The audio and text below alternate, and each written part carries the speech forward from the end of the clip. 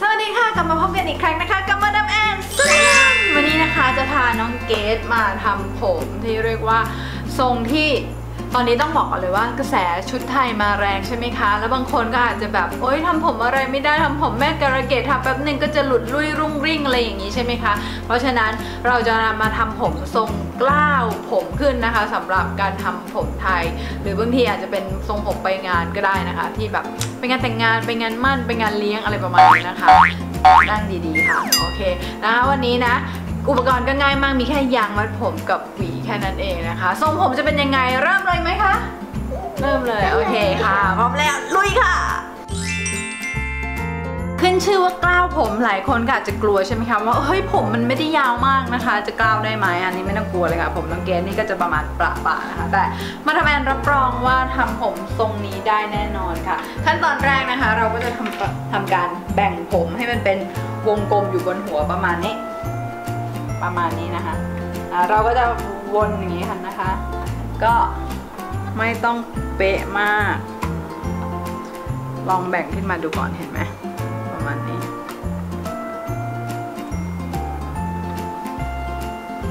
เสร็จแล้วนะคะ เราพยายามมัดจุกให้อยู่กึ่งกลางของวงกลมเป็นจุดศูนย์กลางพอดีแบบนี้ ก็มัดให้แน่นเลย เห็นไหมคะ เราจะได้เป็นทรงนี้เหมือนกะลามะพร้าวเลยค่ะ พอได้แบบนี้เสร็จใช่ไหมเดี๋ยวเราจะเริ่มต้นกันเลยนะคะ โดยการใครถนัดด้านไหนก็เริ่มด้านนั้นนะเดี๋ยวแม่อาจจะถนัดด้านนี้ เราจะเริ่มถักเปียนะคะ มันเกี่ยวด้วยเหรอ โดยการเงยหน้านิดนึงแบ่งผมตรงนี้ก่อนไม่ติดแล้วมั้งนี่นะคะประมาณนี้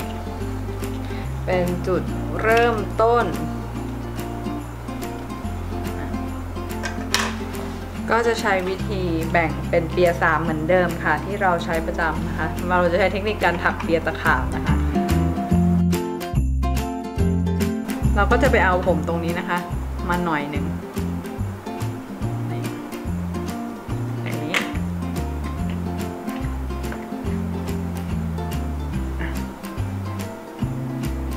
ประมาณนี้นะคะเหมือนไปเกี่ยวผมมาข้างหลัง แล้วตรงนี้เราก็ เกี่ยวผมเพิ่มค่ะ คือด้านขวาเปียด้านขวาก็เกี่ยวด้านนี้นะคะ พอจังหวะเดิมเปียดเปียด้านซ้ายก็คือไปเกี่ยวจากตรงกลางจุกมา แล้วเราก็ถักวนไปเรื่อยๆค่ะ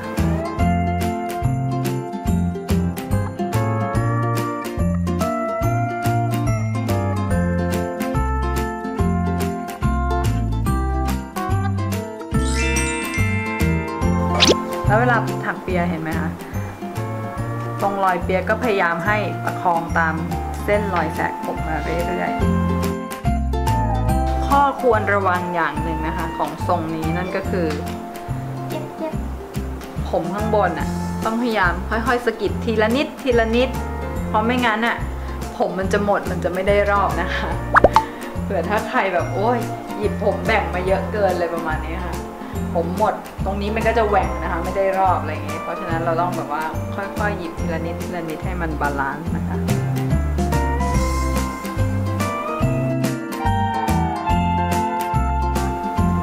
เสร็จแล้วเราก็เมื่อเก็บผมทุกสิ่งอย่างหมดแล้วใช่ไหมคะเราก็ถักเปียต่อ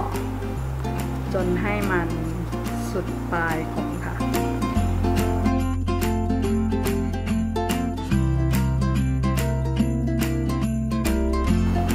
ก็ได้แบบนี้เรียบร้อยแล้วใช่ไหมคะ เดี๋ยวเราจะทำการเก็บปลายผมนี้เข้าไปเดี๋ยวเราจะทำการเก็บกายปลายผมเข้าไปนะคะ โดยการสอดเข้ากับจุดเริ่มต้นของเปียนี่แหละก็ดันมันเข้าไปนะคะ แล้วก็อาจจะใช้ปลายหวีช่วยเคลียร์เคลียร์ปลายผมเข้าไปหน่อย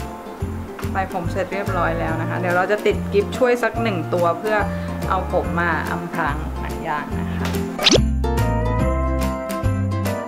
เสร็จเรียบร้อยแล้ว